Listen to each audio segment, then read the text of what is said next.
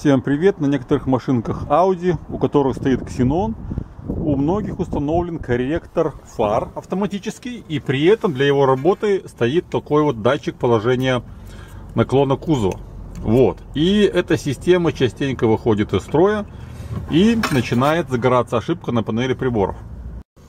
На панели мы видим вот такой вот значок корректора фар. Вот датчик снят. Э, чтобы его проверить, на нем есть разъемчики и подписаны контакты. Должно быть сопротивление между ногами 1 и 5 55 килоом.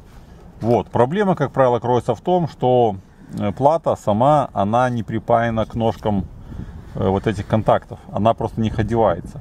И всего лишь достаточно, как правило, достаточно просто-напросто данные разъемы пропаять и все будет нормально.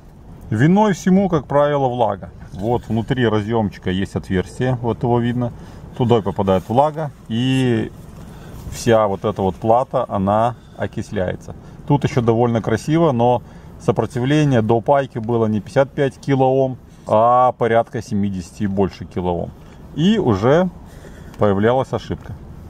Поэтому сейчас пропаяли, поставим, проверим. Обнаружилась еще одна неисправность. И не только плата сгнила, но сгнил и сам провод в разъеме.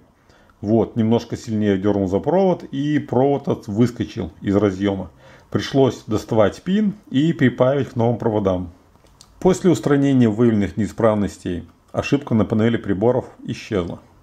Вот так. Поэтому все просто, но годы берут свое и за этим необходимо следить. Всем спасибо и пока.